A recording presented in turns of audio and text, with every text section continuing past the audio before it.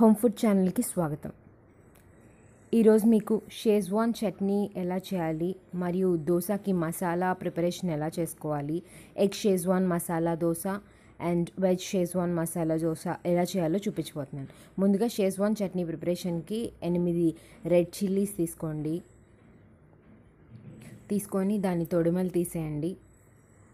ఆ తర్వాత దాన్ని విరిచి దాంట్లో ఉన్న గింజల్ని కూడా తీసేసుకోండి.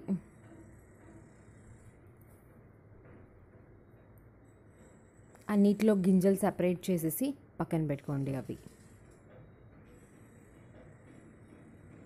ఇలా పక్కన పెట్టుకున్న ఎండుమిరపకాయల్ని ఒక బౌల్లోకి తీసేసుకొని కొన్ని గోరువెచ్చటి నీళ్ళు పోసేసి ఒక అర్ధగంట సేపు నానబెట్టండి.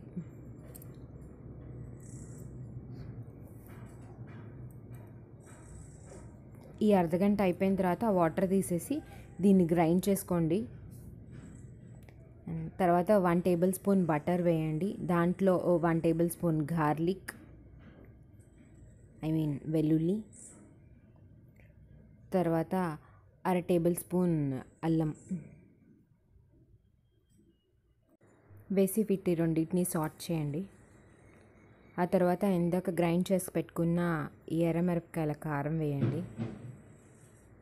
ఒక మూడు నిమిషాల పాటు కుక్ చేయండి.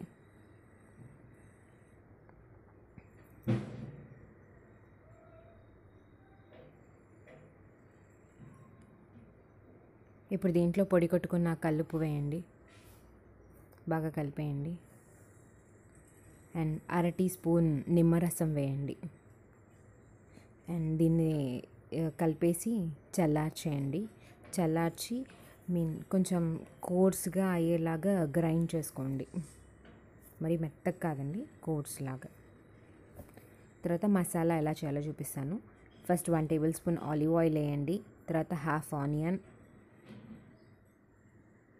సాట్ చేయండి. అది కొంచెం రంగు మారేంత వరకు.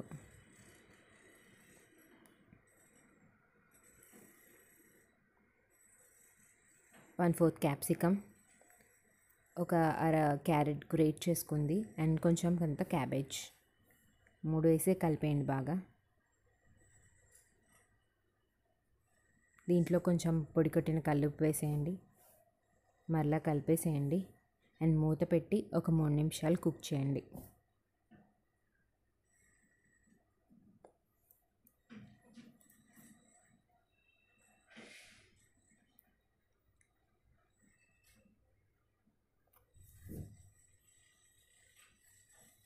దీంట్లో అర టీ స్పూన్ కారం పావు టీ స్పూన్ జీలకర్ర ధనియాల పొడి వేసేసి మరలా కలపండి. ఒక నిమిషం పాటు అలా కుక్ చేయండి. దోశకి మసాలా ప్రిపేర్ అయిపోయిందండి. సో ఇప్పుడు దోశ బ్యాటర్లా చేయాలో చూపిస్తాను. ముందుగా ఆరు టీ స్పూన్ల అవిసె గింజలు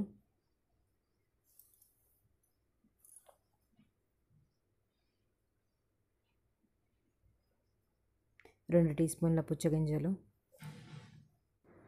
ఒక టీ స్పూన్ నువ్వులు. వేసి డ్రై రోస్ట్ చేసేయండి.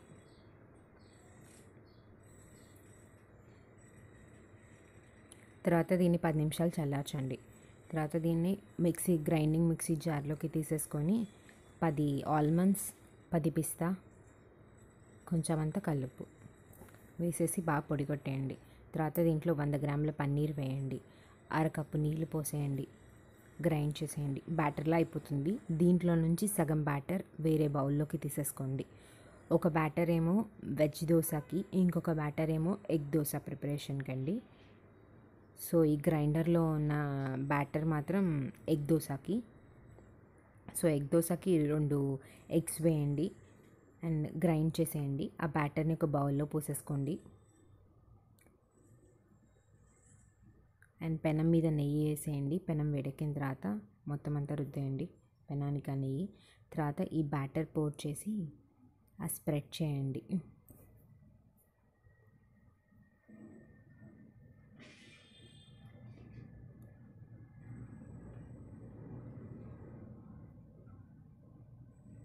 తర్వాత దీని పైన కొంచెం అంతా నెయ్యి వేసేయండి. అండ్ పైన సైడ్ కుక్ అయిన తర్వాత ఈ షేజ్వాన్ చట్నీ ఇందాక చేసుకున్నాం కదా దాన్ని అప్లై చేసేయండి దాని మీద స్ప్రెడ్ చేయండి. స్ప్రెడ్ చేసి ఇందాక ప్రిపేర్ చేసుకున్న మసాలా ఉంది కదా అది కూడా ప్లేస్ చేసుకోండి. అండ్ తర్వాత ప్లేస్ చేసుకున్నాక ఈ దీన్ని ఫోల్డ్ చేసుకొని సర్వ్ చేయండి. దీనికి చట్నీ కూడా అవసరం లేదండి. మీరు ఒకవేళ కావాలి అనుకుంటే కోకోనట్ చట్నీతో సర్వ్ చేసుకోవచ్చు. లేదు అంటే ఇలా తినేసేయచ్చు. అండ్ ఇప్పుడు వెజ్ షేజ్వాన్ దోశ ప్రిపరేషన్. ఇందాక మిగిలిన బ్యాటర్లో టూ టేబుల్ స్పూన్స్ చీజ్ వేసేయండి. అండ్ మధ్య మధ్యలో వాటర్ వేస్తూ కలుపుకోండి బ్యాటర్ లాగా. ఐ మీన్ సరిపోయే కన్సిస్టెన్సీ చూసుకొని వాటర్ వేసి కలిపేసుకోండి. సో పైన మీద మళ్ళీ నెయ్యి వేసేసుకొని దాని మీద ఈ బ్యాటర్ని ప్లేస్ చేసి స్ప్రెడ్ చేయండి. తర్వాత దాని మీద కొంచెం అంతా నెయ్యి వేసేయండి. సో వన్ సైడ్ కుక్ అయింది. సో దీన్ని ఫ్లిప్ చేసి కుక్ చేసుకోండి.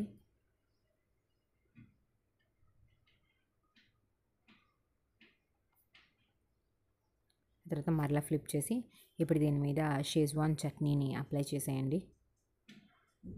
దాని తర్వాత మసాలాని ప్లేస్ చేయండి.